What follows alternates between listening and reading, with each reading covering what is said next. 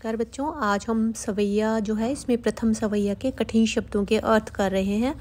कठिन शब्दों के अर्थ यदि आपको पता हो तो आप इसका अर्थ आसानी से समझ सकते हैं और यही शब्द आपके बहुविकल्पी प्रश्नों में, काम में आने वाले हैं। तो पहला शब्द है पायनी। पायनी का तात्पर्य है पाँव। दूसरा शब्द है नुपुर। नुपुर कहते हैं पायल को। फिर आता है मंजू। मंजू होता है सुंदर। कटी कटी यानी कमर। किंकिनी, किंकनी करधनी को कहते हैं। करधनी कमर में पहने जाने वाला एक गहना होता है। लसय यानी सुंदर लगती है। पट यहाँ पर वस्त्र को कहा गया है, जो वस्त्र धारण किए हैं। पीत यानी पीला। हिय यानी हृदय। हुलसय यानी आनंदित होना। बनमाल शब्द का अर्थ है फूलों की माला।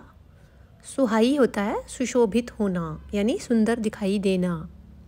किरीट मुकुट को कहते हैं, सिर पर पहना जाता है।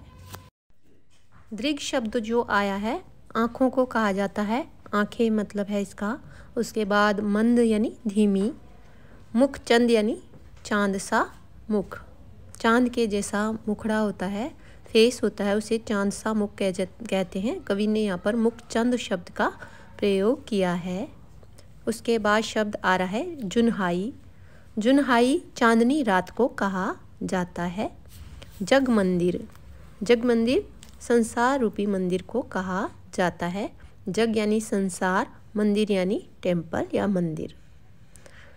देवालय भी इसे कहते हैं। श्री ब्रज दुलह श्री ब्रज दुल्हा यहाँ पर श्री कृष्ण को कहा है और सहाई शब्द जो है, वह सहायक के लिए प्रयुक्त हुआ है।